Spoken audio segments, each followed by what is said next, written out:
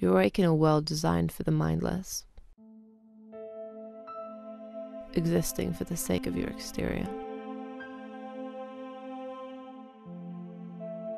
Fit the mold, never stop, never think.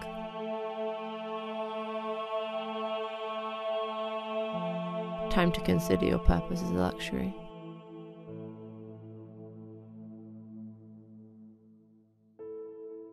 Produce, consume, dispose. Schedules accommodate for the numbing of the mind, while spontaneity of the soul is removed.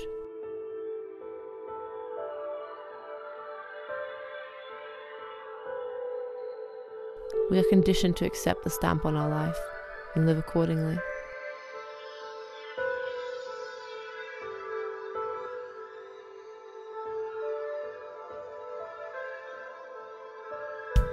Breaking the pattern has never been an option.